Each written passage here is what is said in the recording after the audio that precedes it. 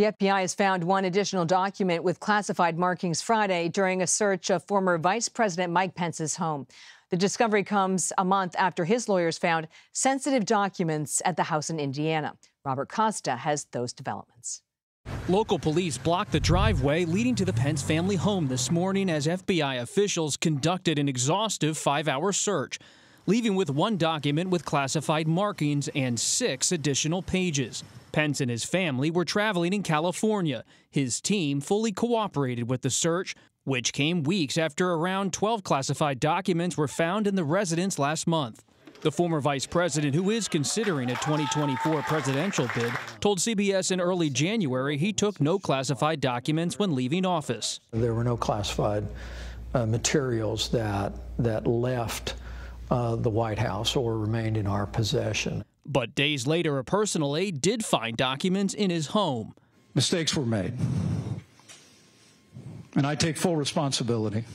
For Pence, it's just the latest interaction with the Justice Department. Special counsel Jack Smith, investigating former President Trump's efforts to overturn the election, wants to hear from Pence under oath about the pressure campaign he faced from Trump. And I hope Mike is going to do the right thing. I hope so.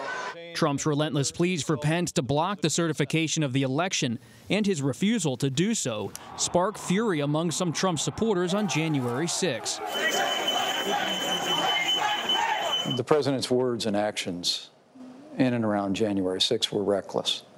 Of interest to the special counsel, sources said is Pence's reportedly intense meeting with Trump in the Oval Office on the eve of the Capitol attack, when Trump was trying to cling to power. But it's unclear how exactly Pence will handle the special counsel's subpoena and whether Trump will try to block Pence's potential testimony by citing executive privilege when it comes to private discussions.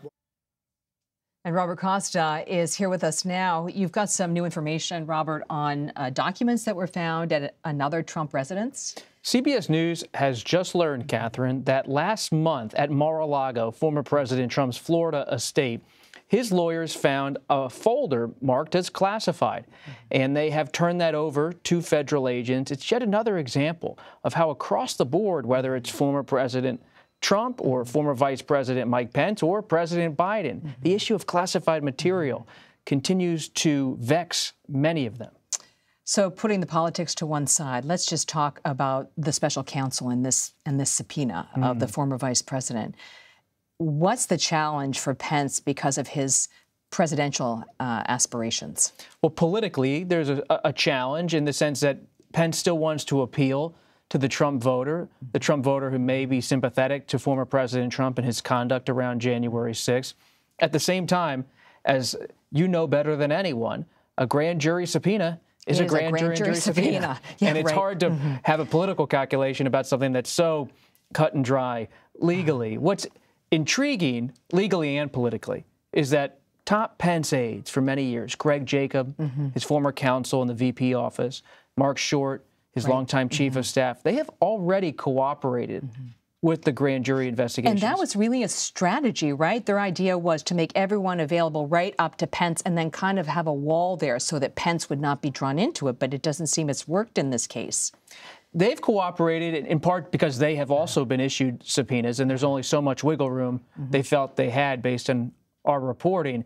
At the same time, it's more complicated for a former vice president when it comes to issues of executive privilege. And I'm told a couple Pence allies are just in wait and see mode to see what does Trump do? Does he start to really have a fight to block mm-hmm. potential Pence testimony? Robert Costa, thank you.